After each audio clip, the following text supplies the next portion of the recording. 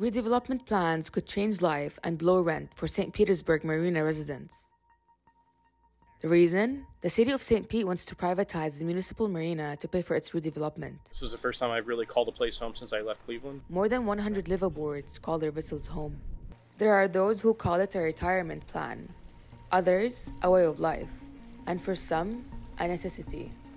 They can live at the marina on as little as $230 a week.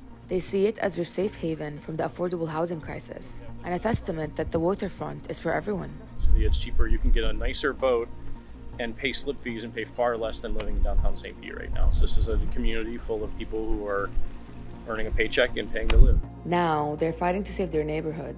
The marina needs renovations, but the city doesn't want to pay for them.